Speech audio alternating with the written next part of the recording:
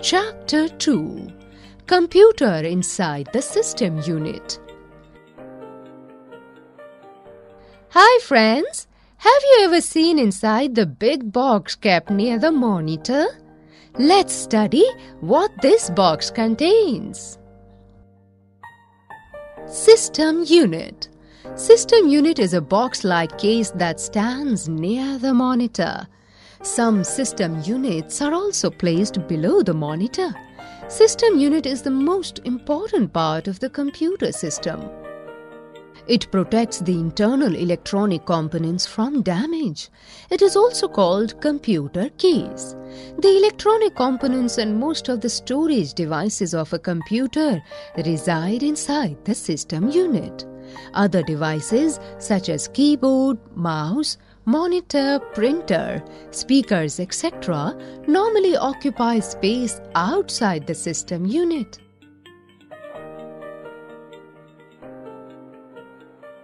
Components inside the system unit.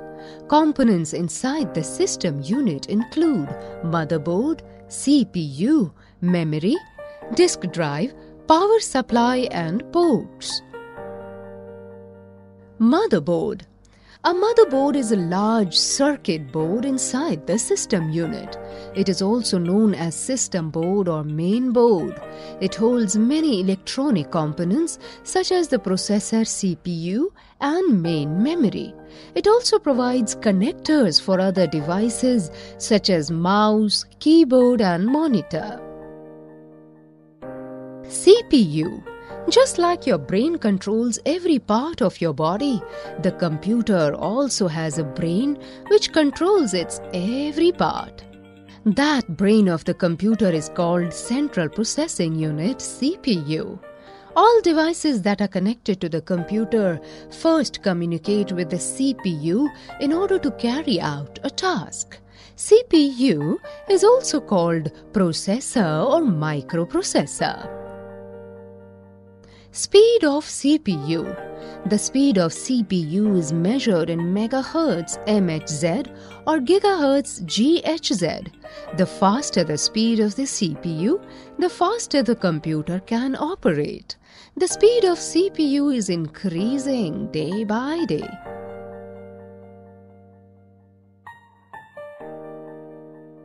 Memory, RAM and ROM as we all have memory that helps in remembering the things, computer also has a memory which remembers many things by storing data inside it.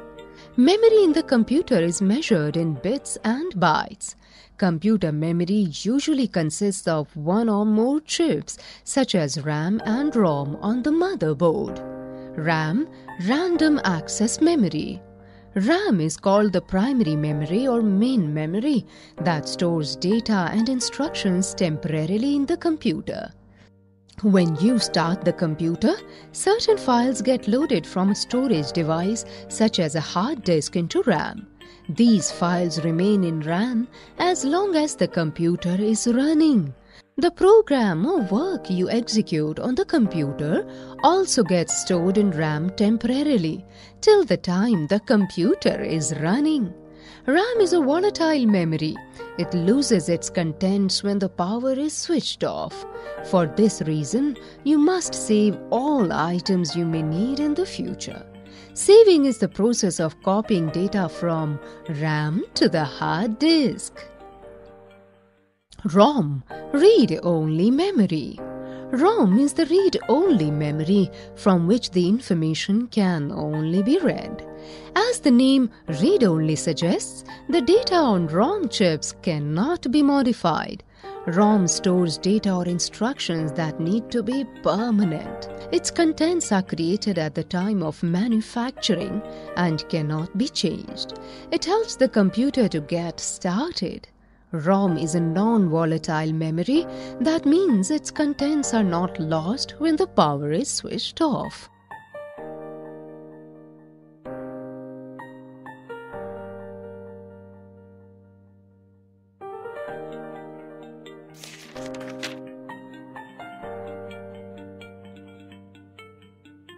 Disk drives Disk drives are used for storing data, instructions, and information for future use.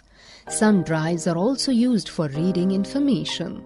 Hard disk drive, CD-ROM DVD drive, and Blu-ray drive are the drives fitted inside the system unit. Hard disk drive. The hard disk drive is used to store data and information for future use. Most computers have one hard disk located inside the system unit. CD-ROM or DVD drive. A CD-ROM DVD drive reads information stored on compact discs, CDs or DVDs. Blu-ray drive. A Blu-ray drive reads information stored on compact discs, CDs, DVDs or Blu-ray discs. SMPS switched mode power supply. Many personal computers plug in standard wall outlets which supply an alternating current AC of 115 to 120 volts. This type of power is unsuitable for use with a computer which requires a direct current DC ranging from 5 to more than 15 volts.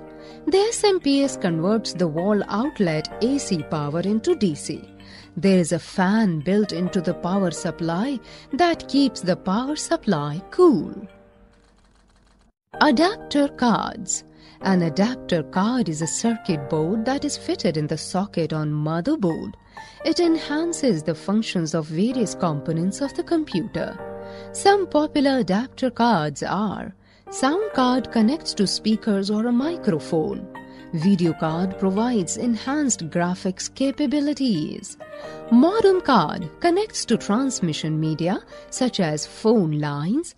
Network card provides network connections such as to an Ethernet port. Nowadays, all the latest motherboards include all necessary capabilities and do not require adapter cards. Some motherboards may require adapter cards to provide capabilities such as sound and video. Ports Ports are a number of holes and slots into which you plug in computer devices. In a typical desktop computer, the back of the system unit contains ports. In a laptop, these ports are on the sides.